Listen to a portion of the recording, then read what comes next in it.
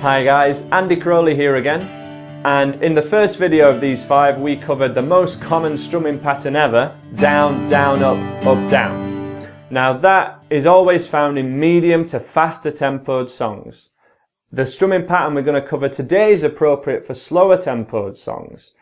Um, it's a very interesting pattern. It gets us onto a 16th grid because the slower tempoed songs might actually include more strumming. And that strumming pattern is one and two and a three and four and a.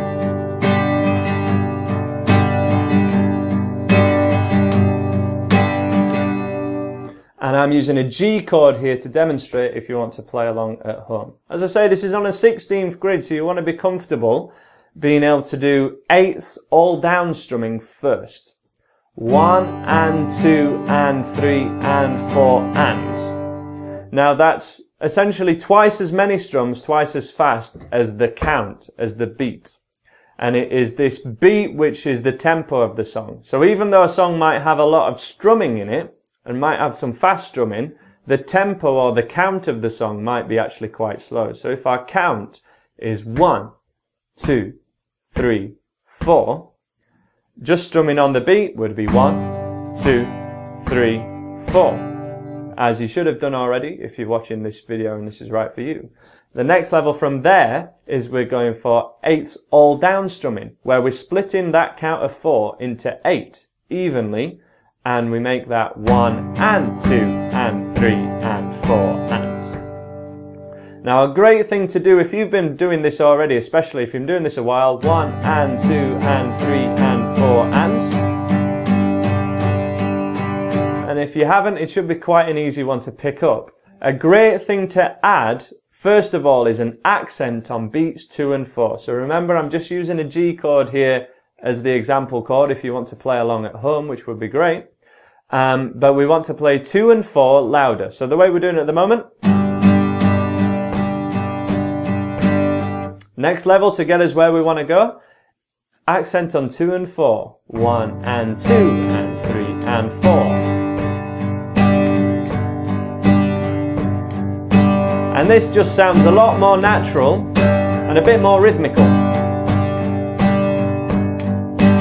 One, two, three, four. Now, the eagle-eyed amongst you will notice I'm not just playing two and four louder to give it that accent. I'm actually playing all the rest a little bit quieter and even, especially on beats one and three, even just playing the thicker few strings. So maybe strings six and five together. One and two and three and four. So let's have a close up on that now and then we'll have a look at the second most common strumming pattern ever. Okay, so eight all downs. Again on our G chord, probably the most common open chord. And we're going to add the accent. Thicker strings on one and and then two, full loud strum. One and two, one and two. And then just one last normal strum on the and of two, one and two and.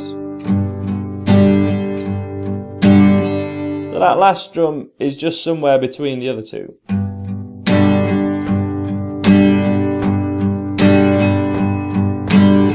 And when we cycle that for one bar, it would sound like one and two, three and four. One and two and three and four and. And that's the first step. So let's do it nice and slow together. Play along to me. In two, three, four. One and two and three and four and one and two. Are you playing along?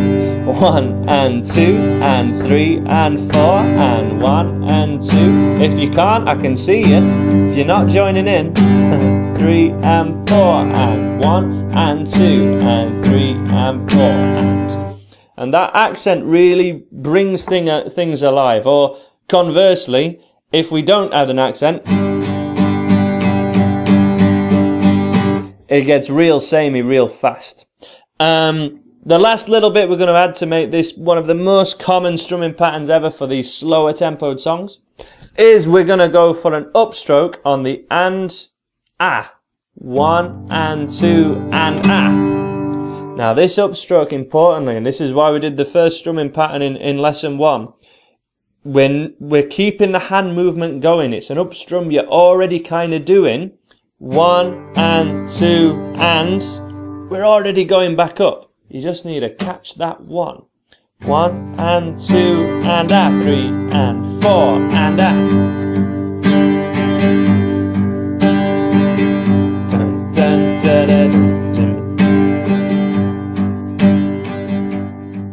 there are two songs that are really good rhythmic recalled for this. If you listen to the songs and then try and copy this pattern, uh, it's not the particular chords, but the drumming from Live Forever by Oasis. One and two and a three and four and a gives you that pattern. Boom, boom, bam, bada, boom, boom, bam, bada. And also One Day Like This by Elbow. Really popular song, beautiful song, that kind of doom, doom, doom, doom, doom, doom, doom, boom, bam, boom, boom, bam boom, bam. And it's basically just both of those are recreating a drum sound. This is why we're accenting beats two and four, because that's where the loud snare drum would happen.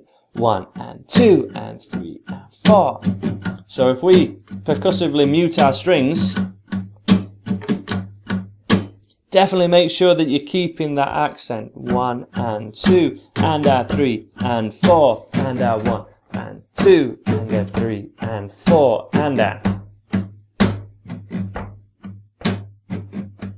So that's how to play the second most common strumming pattern ever. Remember that's appropriate for slower songs and the first one is appropriate for faster songs. There's a little bit of crossover in the middle where both may work, but you'll find if you try that in any of your songbook strumming type songs, that one will just naturally work better for the other than the other for the song that you're going for.